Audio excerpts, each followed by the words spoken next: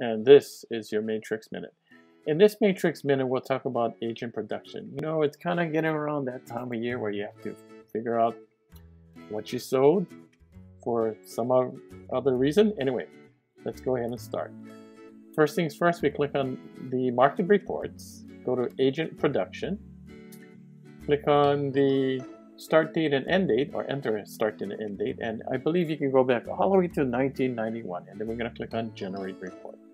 And here's our report. It actually will compare you against the entire MLS. It shows you properties where you represented the seller, properties where you represented seller and buyer, and properties where you represented only buyer. Next page. This is a list of the inventory, condos, vacant land, single family, and also the individual uh, addresses for each listing. And that's it.